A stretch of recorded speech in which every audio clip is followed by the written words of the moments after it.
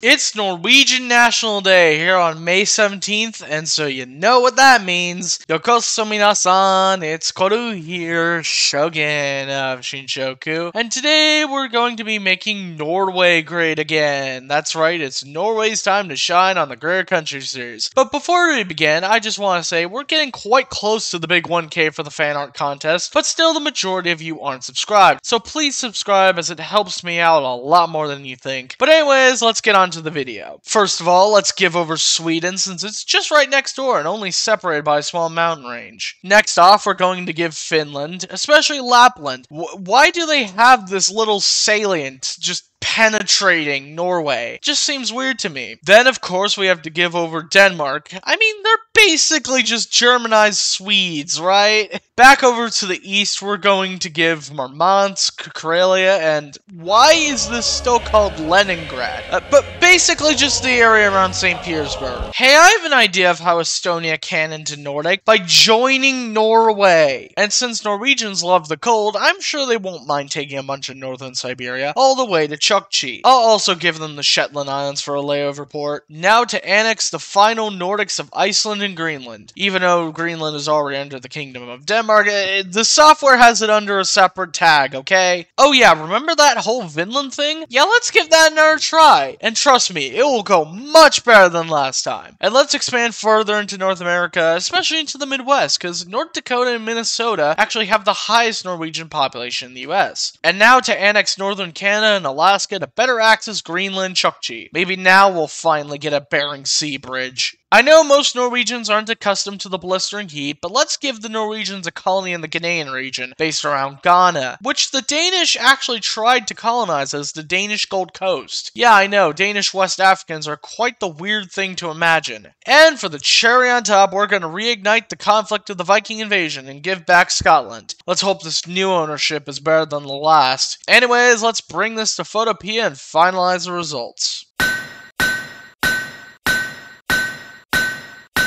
And here are the final results. Anyways, hope you enjoyed this video. Comment down below which part was your favorite. And anyways, here comes the Norwegian National Anthem. Sing it with pride.